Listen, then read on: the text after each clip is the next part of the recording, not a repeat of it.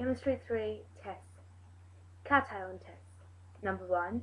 To test for cations, you could use the flame test. And to carry this out, you've got to dip some, some wire into acid and you've got to hold it on a flame until the flame goes blue and you know, the, the normal blue and then you've got to dip the wire into the chemical and back into the flame and then you see the color so if you see a bright red color then you have lithium. But if you see um, a bricky red more of like a boring red color then you see calcium. And if you see lilac which is very pretty you see potassium. And remember pretty P potassium P. And if you see a green flame then you've got barium and if you see a golden uh, strong yellow flame. Then you've certainly got sodium. Then the next test you could use to, um, to find out cations is the sodium hydroxide test. So you add a bit of sodium hydroxide to your chemical and you see what happens. So if you get a white precipitate which doesn't dissolve, then you have um, and you have to add excess to see if it actually dissolves. Then you have calcium 2 plus ions or magnesium 2 plus ions. But if the white precipitate dissolves when you add excess sodium hydroxide, then you've got aluminium 3 plus ions. And if you get a sludgy green um, kind of precipitate, then you've got iron 2 plus ions. And if you get a red browny precipitate, then you've got iron 3 plus. Remember, iron 3 plus is like hemoglobin, um, so it's got red in it. Then, um, if you get like a bluey precipitate, then you've got copper 2 plus ions. So those are the cation tests. However, there is the, the third one. So if you have ammonium, ammonium is also a cation. So if you have ammonium, then to test for that, you add some sodium hydroxide to the chemical, then you heat it gently, and you get like a stinky um, ammonia smell. It's very, you find out the smell when it comes because it just like goes on your face.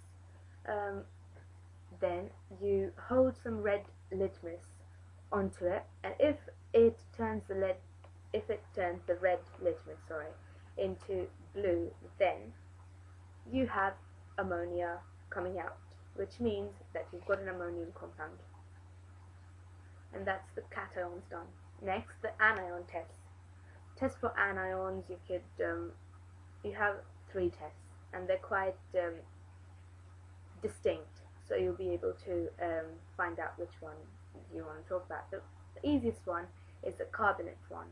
So you add a bit of hydrochloric acid, and if it fizzes, you use a delivery tube to um, take the gas which um, comes out and you feed it into a test tube of lime water.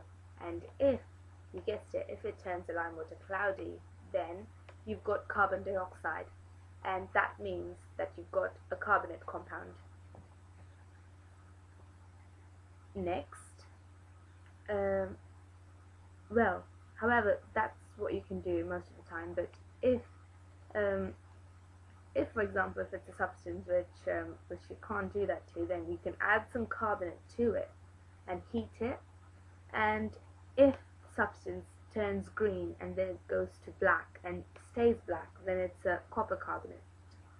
If it turns white and then to yellow and back to white when it's cool then it's zinc carbonate.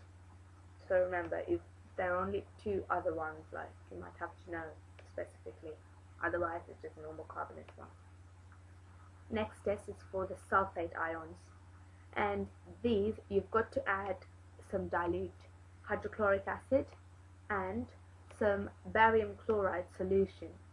And if you get a white precipitate simple as that you've got a sulfate compound then next you've got the halide ions. So you add some dilute nitric acid to the substance and some silver nitrate as well. And then if you get a white precipitate, you've got chloride. If you get um, creamy precipitate, you've got um, bromide. And if you get a yellow precipitate, you've got iodide. And it's very hard to differentiate between them, so you've got to hold them against pure white paper to see the difference. Then finally you've got the nitrates test. Remember all the ammonium has got nitrogen in it, it's a cation, and nitrates are actually anions. Um, so in this, you first add some um, sodium hydroxide, and you heat it gently. And if you get um, like ammonium smell, then you stop right there because you've got um, ammonium um, compound there. Okay, but if you don't get that ammonia smell, and if it doesn't turn a red litmus blue, then you carry on and you add some aluminium powder and heat it gently again. And now you should get um, an ammonia smell, and that gas produced should turn red litmus to blue. Then you've got a nitrate compound. So those are the main tests you need to know. And part of this, just remember that organic compounds burn to give a yellow, orangey, bluey flame, and they char so they turn black. And if you want to find out um, if your substance is, if you know it's organic substance, but if you want to find if it's saturated or not, remember the bromine water test. So you add the bromine water and you wait and see. If it decolorizes and becomes colorless, then you've got yourself an un unsaturated substance because the unsaturated substance obviously bonds with the bromide ions and stuff uh, with the bromine even. Uh, but then um, if it doesn't turn then you've obviously got a saturated compound